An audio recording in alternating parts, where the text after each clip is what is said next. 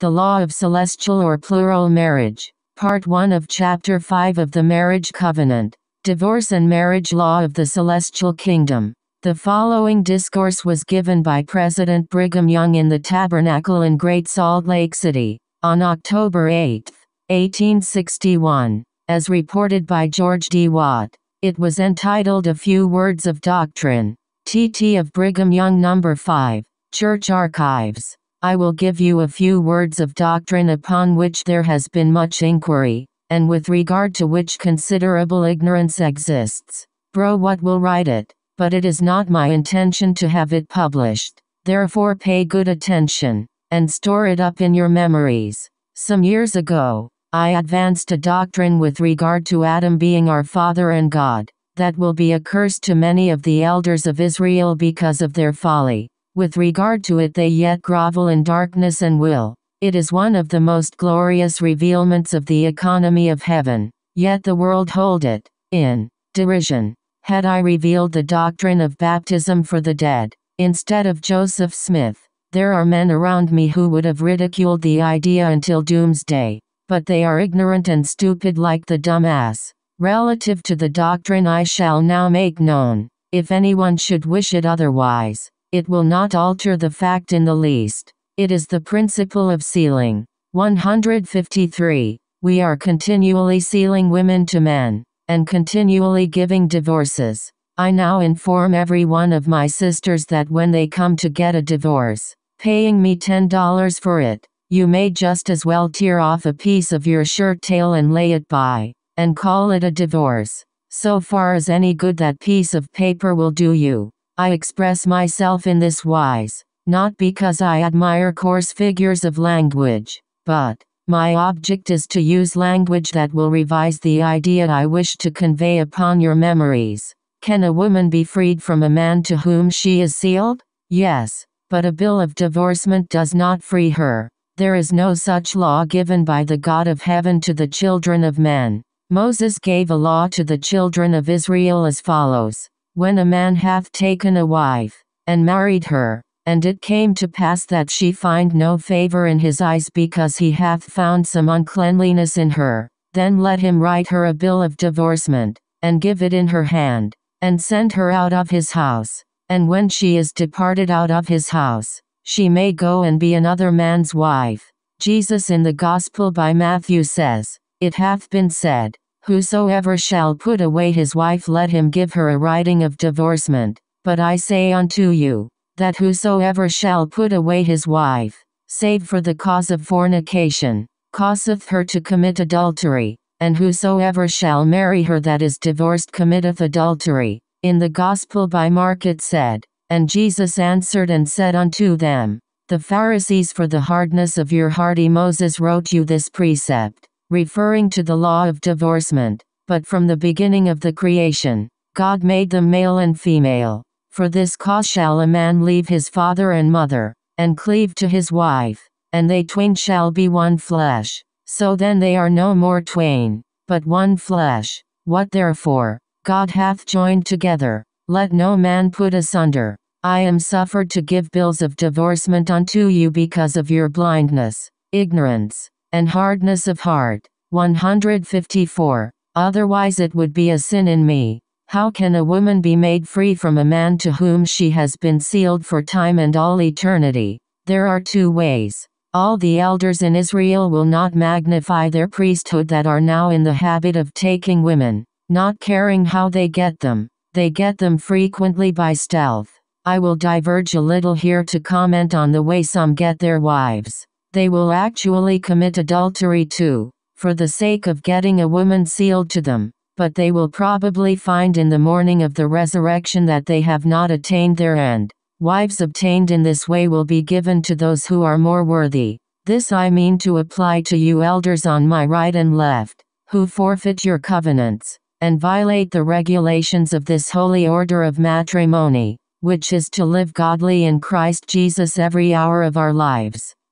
To return to the thread of the subject before us, if a man magnifies his priesthood, observing faithfully his covenants to the end of his life, all the wives and children sealed to him, all the blessings and honors, promised to him in his ordinations and sealing blessings, are immutably and eternally fixed. No power can wrench them from his possession. You may inquire, in case a wife becomes dissatisfied with her husband, her affections lost, she becomes alienated from him, and wishes to be the wife of another. Can she not leave him? I know of no law in heaven or on earth by which she can be made free while her husband remains faithful and magnifies his priesthood before God, and he is not disposed to put her away, she having done nothing worthy of being put away. If that dissatisfied wife could behold the transcendent beauty of person, the godlike qualities of the resurrected husband she now despises,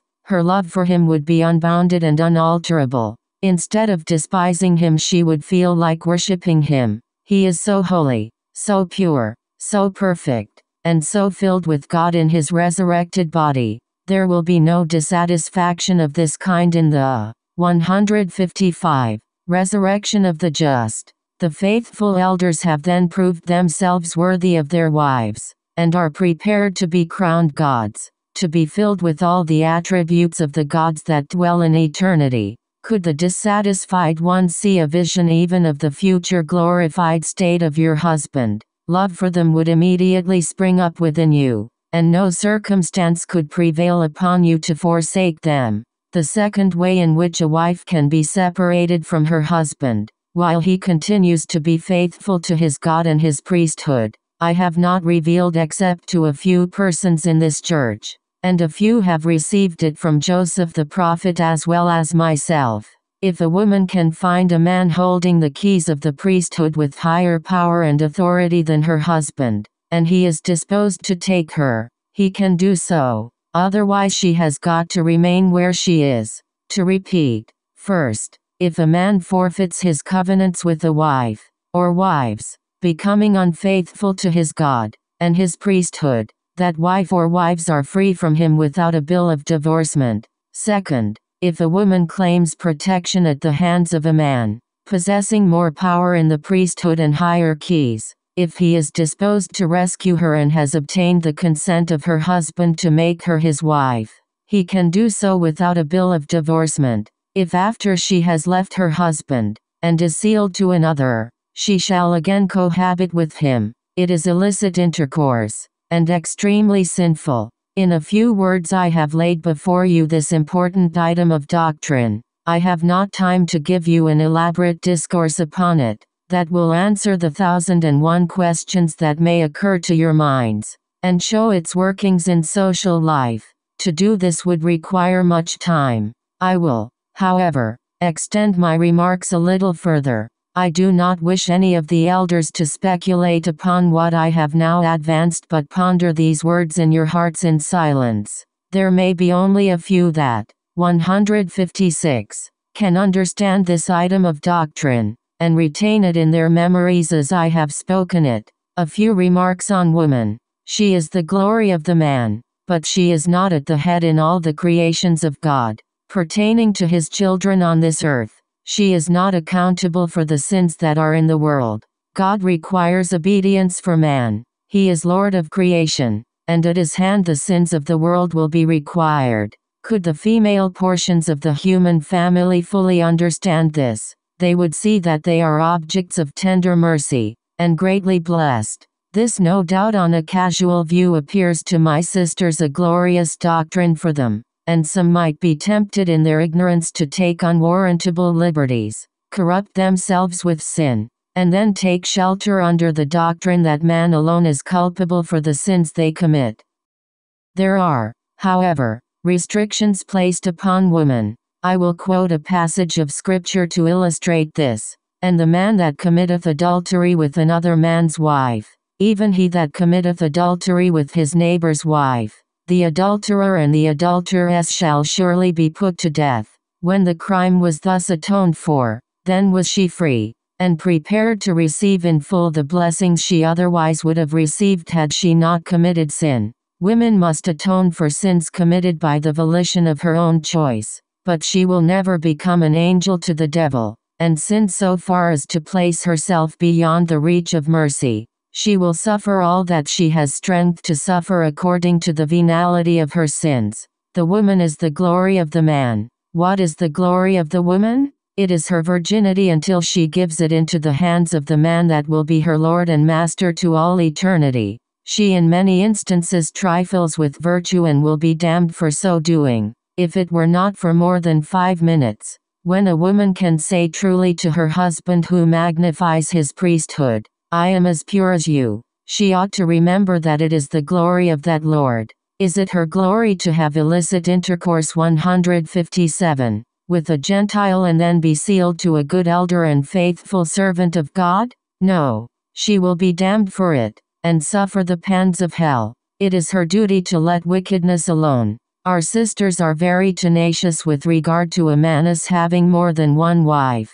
Says the wife, Husband, I am capable of making your dinner. I can make your bed. I can attend to your physical wants. You do not need another woman in this house. Do you not know that that is a curse placed upon woman? Why so? That she may not become an angel to the devil. It is the order of heaven she should suffer in the flesh. You say you will not suffer in the flesh, that you will not be cursed that you will have the fullest satisfaction of this life and let the next life take care of itself. And now, Mr. Husband, if you do not make a heaven for me, I will leave you. You have a curse upon you that the male portion of the human family have not got. Their curse is to toil for a subsistence for themselves and wives and children, to obtain from the ground, by the sweat of their brow, bread and fruit, etc. And unto Adam he said, because thou hast hearkened unto the voice of thy wife,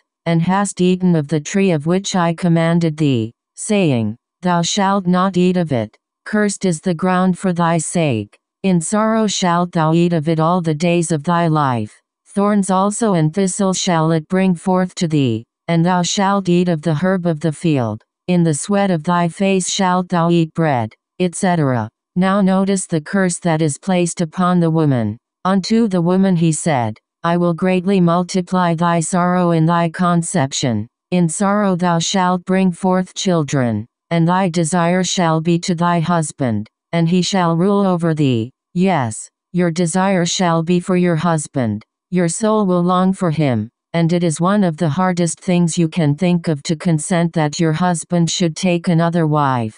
And when you bring forth it shall be in extreme pain. Were it not for this curse, Woman would not have suffered pain in childbearing. She has taken the lead in committing 158 sin, and she will fill her days with sorrow. She shall desire this, and that, and the other, and her disposition, and affections, and her whole being shall be afflicted as much as the man. But his afflictions are of another kind. Let me say one thing to the young girls. And what I shall tell you I wish you to ponder in your hearts and say nothing about it, for the wicked world has no business with these things, nor half-hearted Mormons. And if there is any here who will not make a good use of what they hear the evil shall be upon themselves. I wish to say to my young sisters, if you can go into the hands of a man, that will lead you into the kingdom of heaven, and exalt you there to become an Eve, a queen of heaven, the wife of a God, and you can remain with that man in whom your soul delights, and you take to him your virginity, you have obtained a treasure that millions of worlds like this could buy from you, for there is your glory to all eternity. Trifle with this matter and you will reap sorrow and sore affliction. When you make your choice of a husband for time and eternity, and you are sure you have got your choice, hang on to him, and not come to me for a bill of divorcement, which amounts to nothing at all. I have told you the only ways that a woman can be freed from a man. There are other items pertaining to this doctrine you will learn from time to time. Many have asked for this matter which I have opened to you. You have got it. Let it enrich your noble hearts, expand your capacities, that is godlike, and enable you to live a pure and holy life. The whole of mankind, according to the words of the prophets anciently, have gone to whoring after strange gods. They worship they know not what. Men can commit sin, with their wives, by violating the law by which we are. This law is pure and holy, and every act of our lives should be to promote that and not destroy it. We should preserve the life that is within us, and permit it to multiply. 159. If any other course is pursued in the midst of this people, the curse of God will come upon those who do it. We will now adjourn. Amen.